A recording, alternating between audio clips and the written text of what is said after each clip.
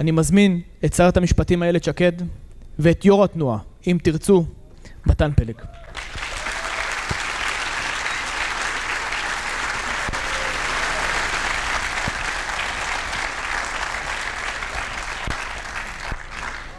קודם כל זה באמת כבוד גדול שאת פה איתנו, אה, ממש כיף, ממש מרגש, כנס ה-11 של התנועה, אנחנו אה, מתבגרים ומתקדמים. אז השאלה הראשונה שתמיד רציתי לשאול אותך, אז אה, ניצלתי את זה, את התחלת את כל הפעילות שלך בשדה החוץ פרלמנטרי. נכון. התחלת עם, עם ישראל שלי, וגם לפני כן היית מאוד מעורבת, אבל ישראל שלי הייתה הפריצה הגדולה, ההשפעה הגדולה. בזמן קצר היא מאוד מאוד השפיעה כבר על התודעה, ודיברו הרבה על הרבה נושאים, גל"צ, אחר כך הפכת להיות חברת כנסת.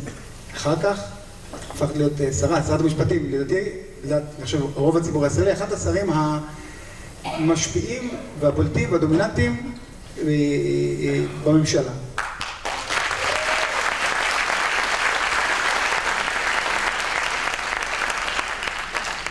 אבל דווקא אני רוצה לחזור איתך רגע אחורה, כי את בהמון הזדמנויות דווקא מדברת אה, אה, על הצורך ועל החשיבות של הארגונים החוץ פרלמנטריים. נכון מאוד. אז אה, אני בטוח שגם הפעילים שלי אם תרצו וגם אה, לציבור, אה, זה מאוד מעניין לשמוע, תוכלי להרחיב טיפה קודם כל בשאלה ראשונה, מה החשיבות של אותם ארגונים? טוב, אז אני באמת מאוד שמחה להיות פה. אני חושבת שכשהקמנו את ישראל שלי היה רק את אם תרצו. ואז היינו ככה, פעלנו גם קצת ביחד, ישראל שלי ואם תרצו.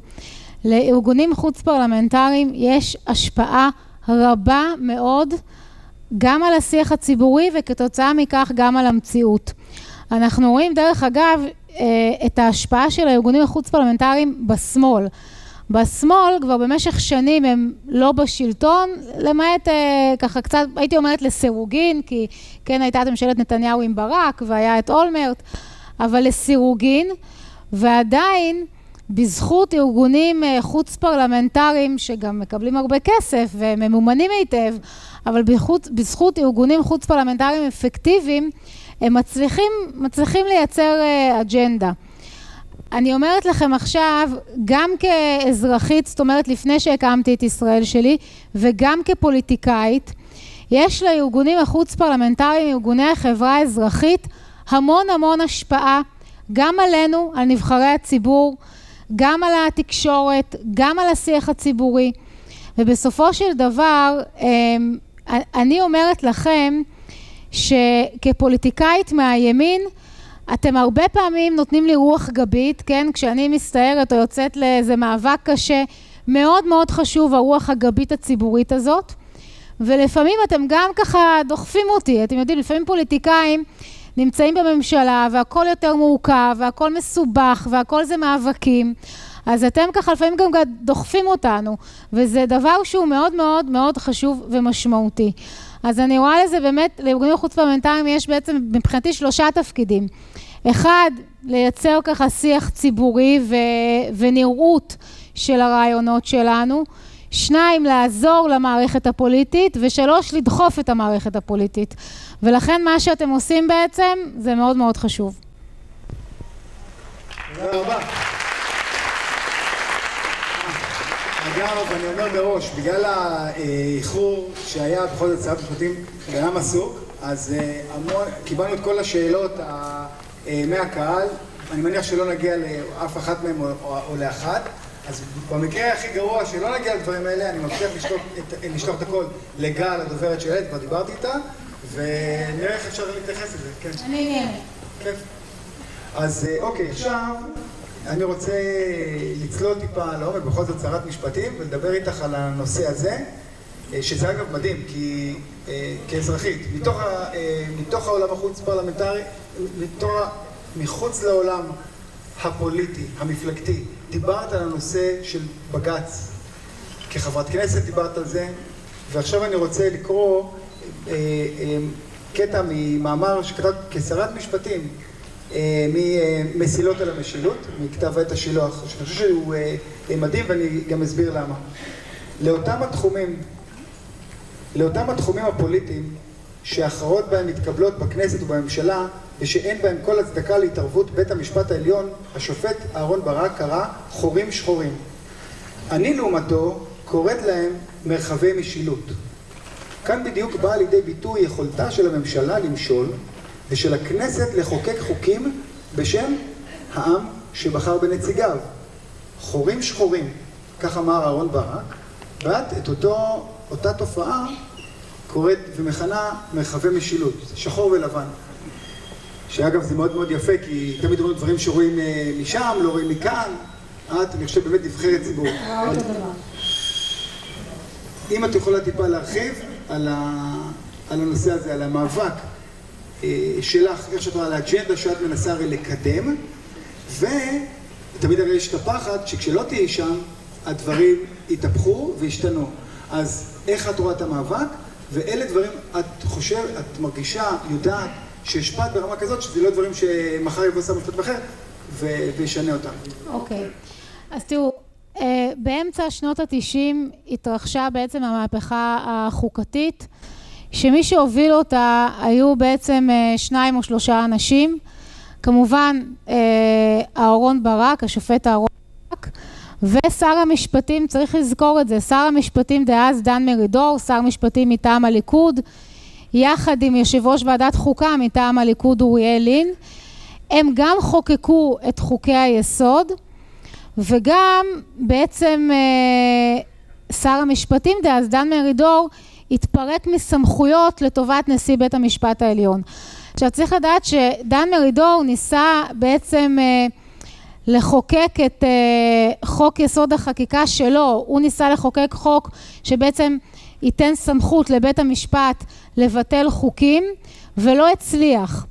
ואחרי שהוא לא הצליח, כנראה שהוא ואהרון ברק החליט, החליטו ללכת לכיוון של חוק, חוק היסוד כבוד האדם וחירותו ולהתחיל משם. אז קודם כל, שנדע את האמת, מי שהוביל את המהפכה זה לא רק אהרון ברק, אלא זה פוליטיקאים, שזה מה שהם חשבו שנכון לעשות. זה דן מרידור, זה אוריאל לין, זה אמנון רובינשטיין.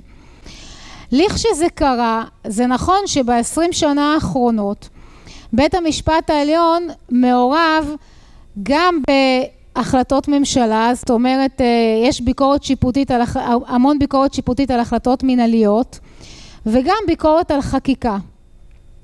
עכשיו צריך לדעת שמשנה לשנה גם עולות כמות העתירות ומשנה לשנה מסתבכות ו... בית המשפט העליון מתמודד עם עשרת אלפים, כעשרת אלפים עתירות בשנה, לשם השוואה בית משפט באנגליה או בארצות הברית מתמודד עם בין חמישים למאה, זה, זה הכמות. עכשיו, בסופו של דבר, מי שקובע, כמובן מי שמכתיב את פסקי הדין זה השופטים ויש להם מרחב תימון מאוד גדול. ובגלל זה אני תמיד אומרת שהם בסוף אם יורדים בסוף לשורש העניין, מה שהכי הכי הכי חשוב זה זהות השופטים. תראו, אנחנו רואים בארצות הברית, שם המלחמה על השולחן, לא מתחת השולחן. הרפובליקנים בוחרים שמרנים, הדמוקרטים בוחרים ליברלים, הכל ברור, הכל ידוע, השופט אומר מה השקפת עולמו, לא מסתירים את זה. אצלנו המצב אחר, הוועדה לבחירת שופטים מורכבת בעצם משלוש קבוצות, מלשכת עורכי הדין, מהשופטים ומפוליטיקאים שבדרך כלל זה קואליציה ואופוזיציה ויש שם איזשהו מאזן כוחות.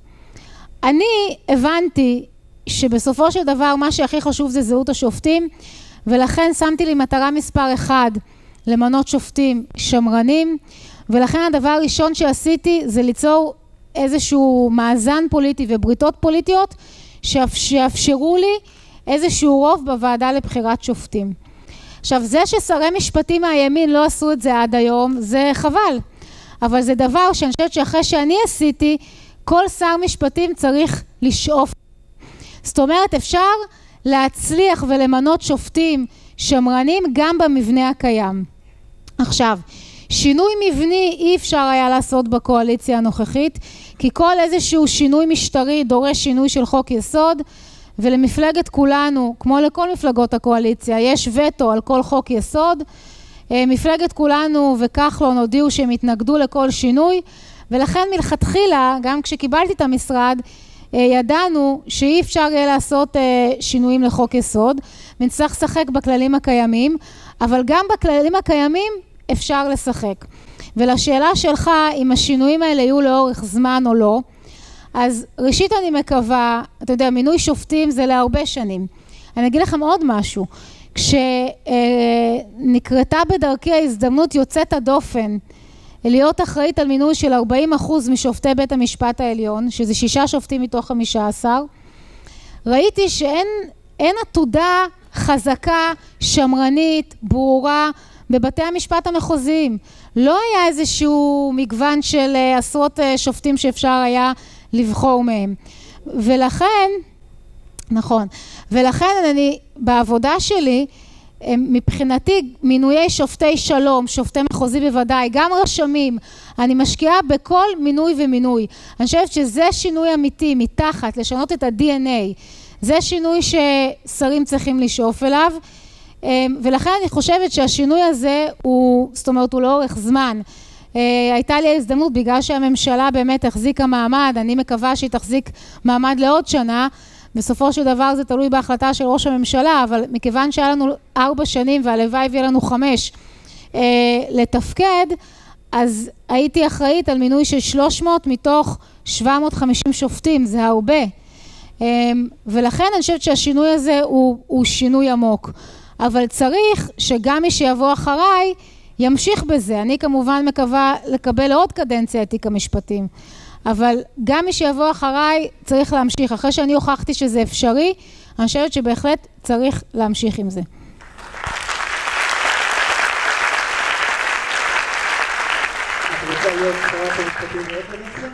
כן, בוודאי. אני חושבת ששר שיכול לעשות שתי קדנציות במשרד שלו, זה הכי טוב שאפשר. Uh, היום דרך אגב, גם בגלל הבירוקרטיה והמשפטיזציה, יש תהליכים שלוקחים זמן, ולכן אני באמת אשמח אם אני אוכל לכהן עוד קדנציה במשרד המשפטים. אה, בש, בש, בשביל זה, דרך אגב, אנחנו צריכים הרבה מנדטים.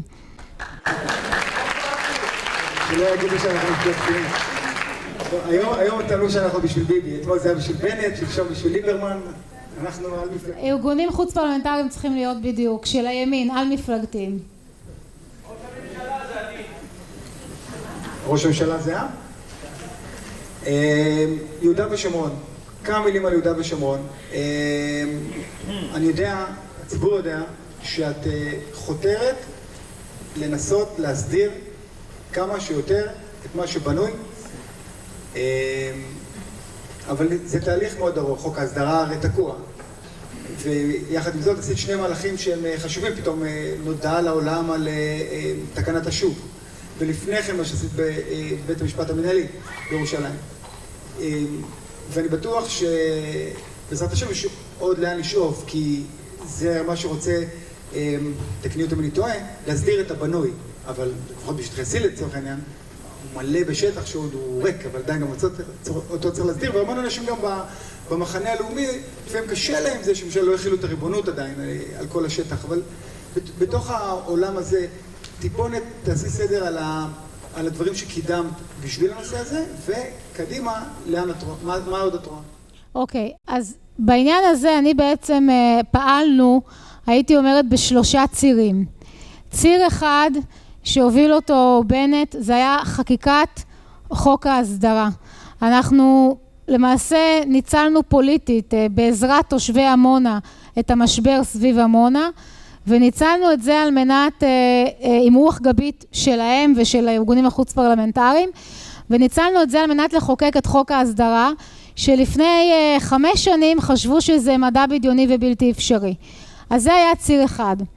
אבל ידענו שיכול להיות שהחוק הזה ייפסל על ידי בג"ץ, ולכן אני פעלתי בציר, בציר מקביל של אה, הכנת כלים מנהליים שיכשירו את רוב ההתיישבות ביהודה ושומרון.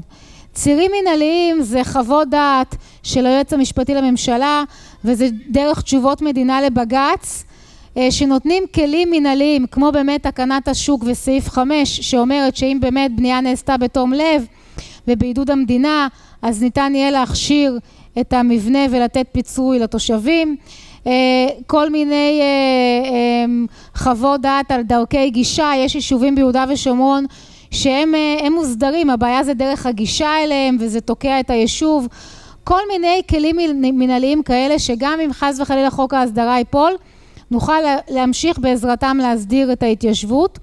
דבר נוסף זה במהלך משולב של הורדת העומס מבג"ץ ונורמליזציה של יהודה ושומרון, העברתי את העתירות על ההתיישבות לבית המשפט המחוזי בירושלים.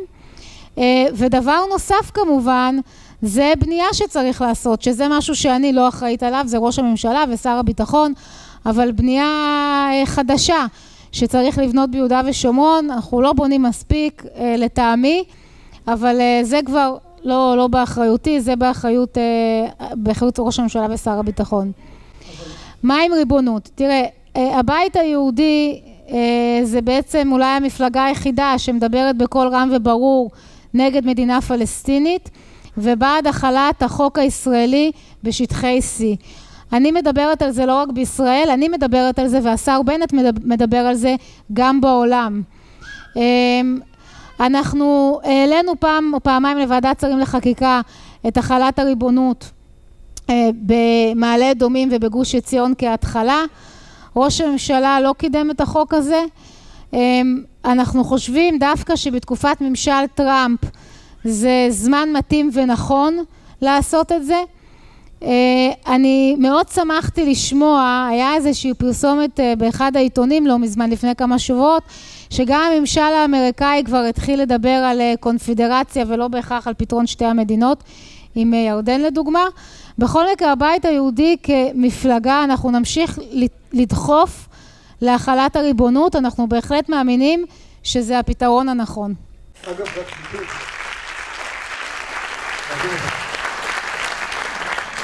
ההפניה מבג"ץ למחוזי היא גם ברמת ה...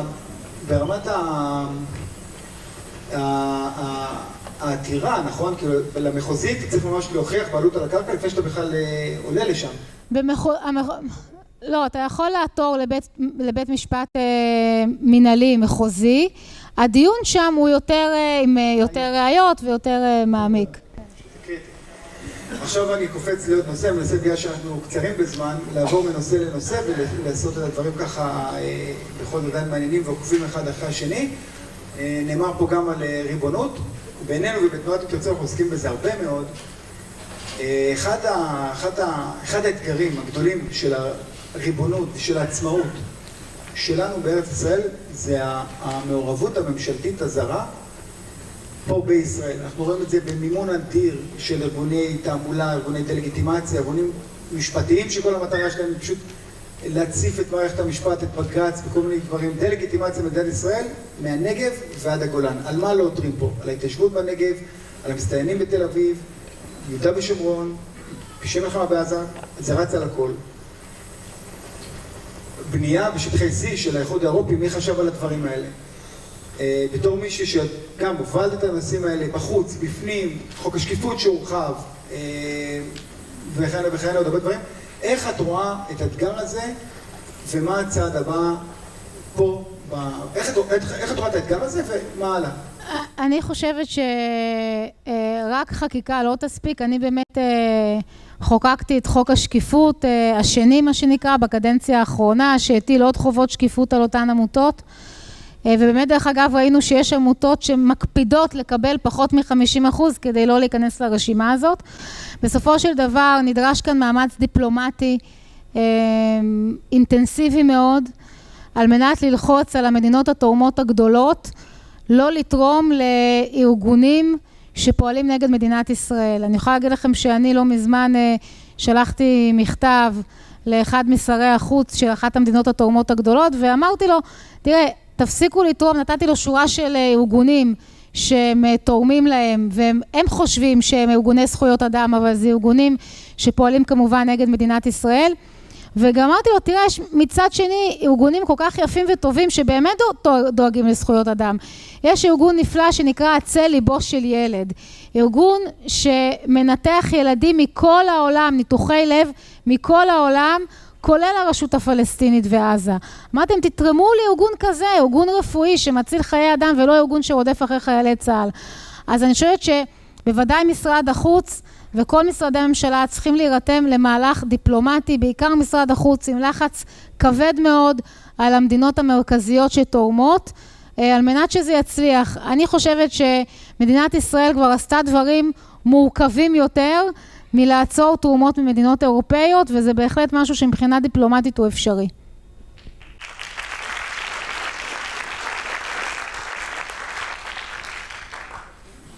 סוגיית המסתננים. מה, מה, עוד פעם, גם אגב, גם פה ראינו אה, הניסיון של מדינת ישראל לבוא ולקדם. זה מ-2007 נתקע על ידי בג"ץ, פעם אחת חשבנו שיש לזה איזשהו פתרון כבר. קמפיין בינלאומי בפנים ובחוץ של ארגונים באימון של ממשלות זרות, באימון הקרן לישראל חדשה, מי נרתע, מה קרה שם, ואיך את רואה את הסוגיה, ואיך פותרים אותה. טוב, אני מתעסקת בסוגיית המסתננים מאז שהייתי בישראל שלי.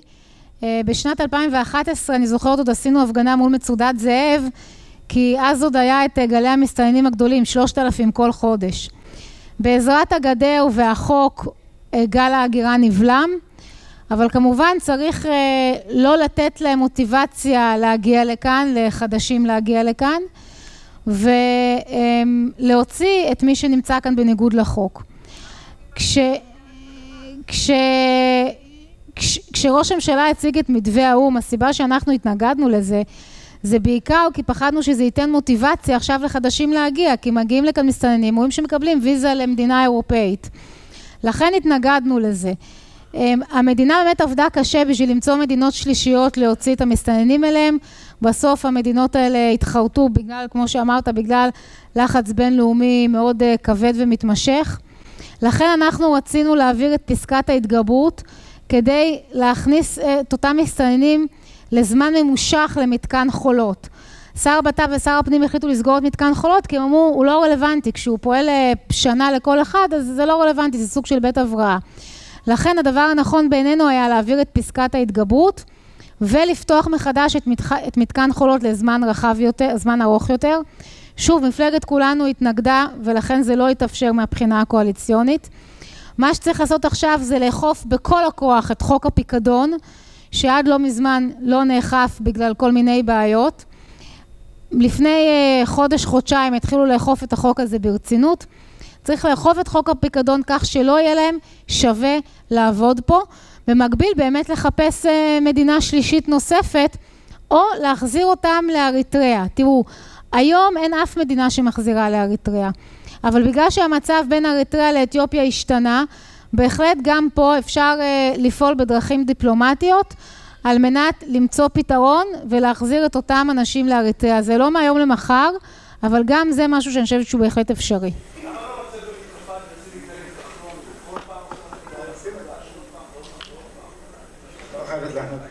תראה, שנת 2019 זה שנת בחירות. אני מקווה שכל אחד יצביע נכון.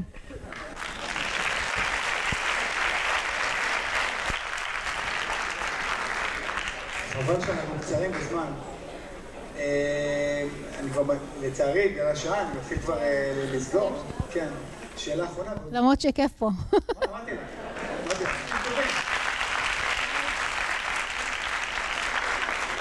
יש פה אה, פעילים ומובילים מכל, ה, מכל הארץ, בכלל זה מדהים, היה לנו אתמול סמינר פעילים, סמינר למובילים, ישנו בסמינר, סמינר של יומיים, ואז הם הגיעו לפה להרים את הכנס. אז כל הכבוד לפעילים, כל הכבוד.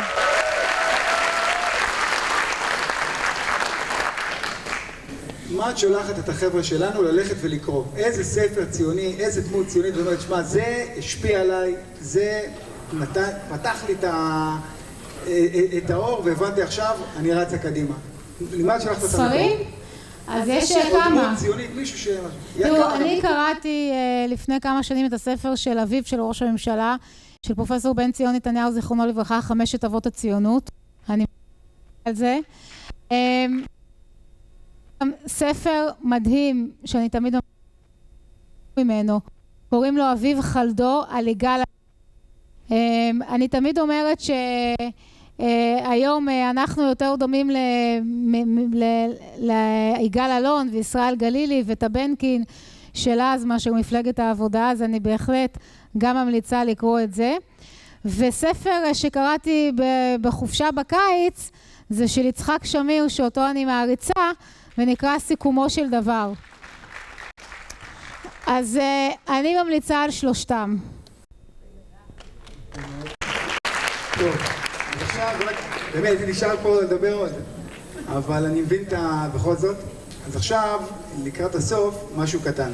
כמו שאת יודעת, באמצע יצאו ברוך השם, זה לא רק הוואי וכנסים, יש לנו הרבה מאוד עבודה ואנחנו גם מייצרים חומרים וגם מנגישים את הידע הציוני לחברה הישראלית. אז ככה. שרת המשפטים, איילת שקד היקרה, תודה רבה על השתתפותך בכנס. מקווים שתהני לקרוא, תהנו לקרוא במשרדכם, כי אני יודע שאסור לתת מתנות ואנחנו לא רוצים שעיתון הארץ יתקוף. ספר מותר, ספר מותר. אה, ספר. עד 200, עד 200. אה, אוקיי. אז זהו, זה בשבילך, אני צריך לשנות את ההקדשה. אז הם מקווים שתהני לקרוא את הספר החשוב הזה למען זכויות האדם, למען זכויות העם היהודי על ארץ ישראל, ולספר לך שעכשיו, בעקבות כל מה שקורה עם חוק הלאום וכל מה שהסיפור, אנחנו בעצם יוצאים למסע השנה של כנסים בכל הארץ, בסימן של הספר הזה, של, של סלומון בן זמרה, זכויות העם היהודי על ישראל, ונקיים כנסים בכל הארץ, בקמפוסים ובפריפריה, בנושא הזכות ולהנגיש לאנשים יותר את התשובות ואנחנו רוצים ממש לעשות דיאלקטיקה וויכוח איזה זכות גוברת על איזה, הזכות המשפטית או הזכות ההיסטורית, אבל זכות יש. יש לנו גם זכות משפטית וגם זכות היסטורית. תודה רבה.